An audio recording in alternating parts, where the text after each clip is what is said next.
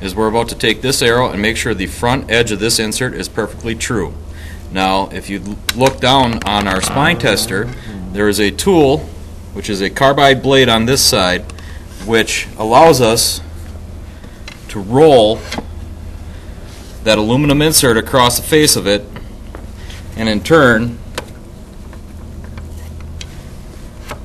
we'll shave the front of it to make sure that it is in fact going to be perfectly square. Reason being, we want to find out exactly how perfect these broadheads can be when we thread them onto the front of the shaft. And when we th- thread each one on, we will show in front of a ruler whether or not it is wobbling on the front of the shaft.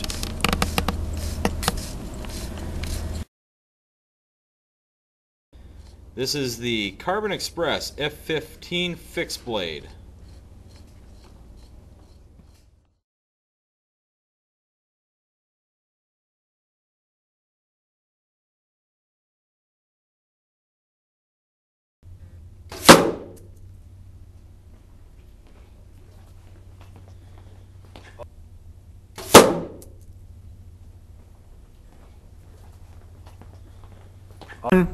Here we have the Carbon Express F15 fixed blade broadhead. Uh, barely penetrated over half an inch outside the back of the plywood.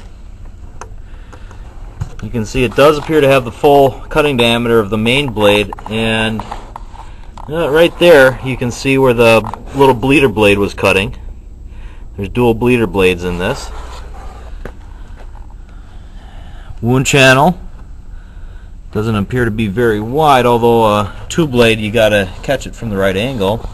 Here is a better description of how the dual bleeder blades look entering. You can see both of them did cut the gelatin. And the entrance wound, you got the main blade, you can see the cuts there, and the dual bleeder blades created that little flap.